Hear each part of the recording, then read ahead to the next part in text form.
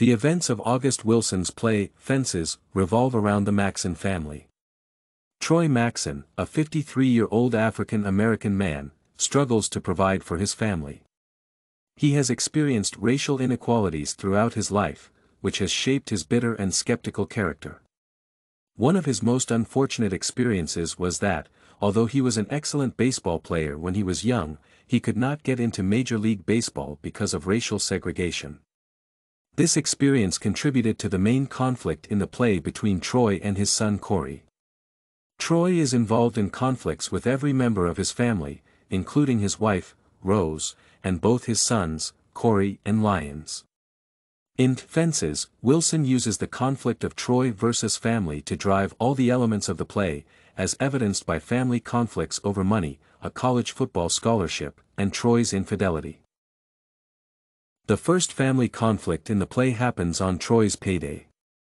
Lyons, Troy's son from the first marriage, comes to his father when Troy is talking to his friend, Bono, in the yard.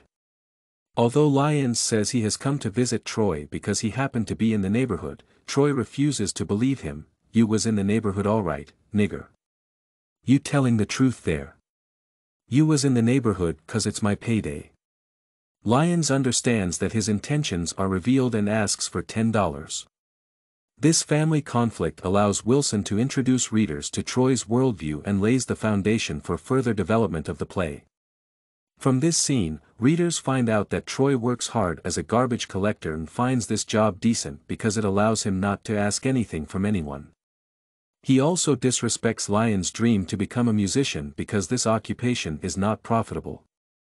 Further in the play, Troy's practical approach to life revealed in this scene leads to new family conflicts.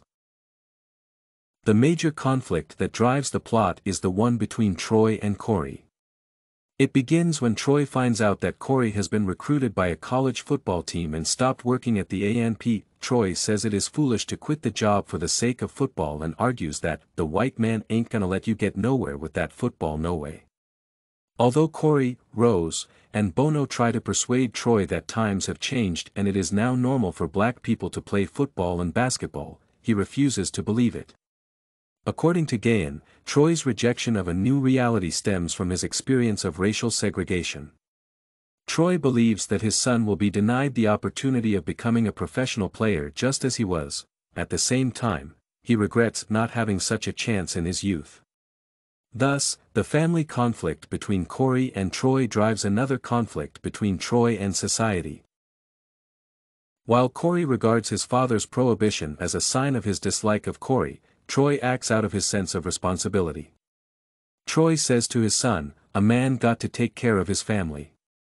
You live in my house, sleep you behind on my bedclothes, fill you belly up with my food, cause you my son.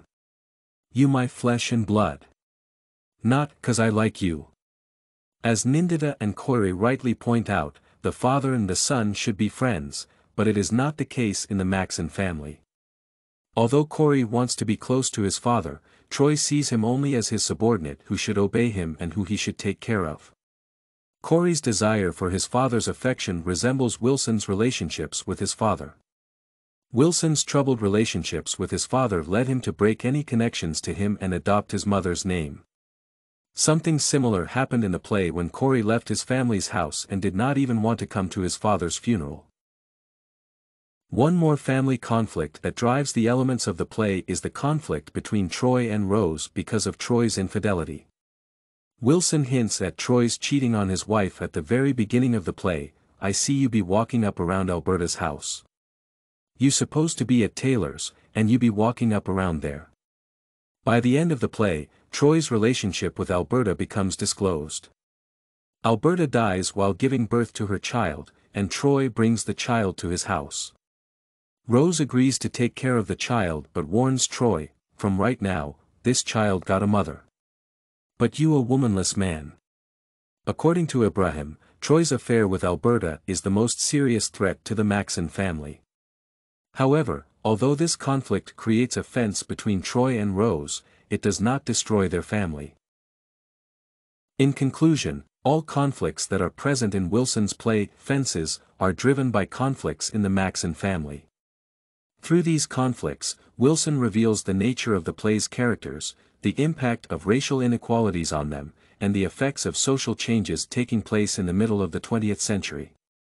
The conflict between the father and the son is likely to have its roots in Wilson's own life because the author had a strained relationship with his father.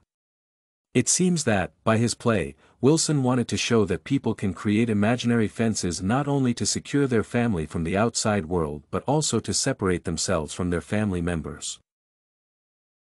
This and many other essays are available at studycorgi.com.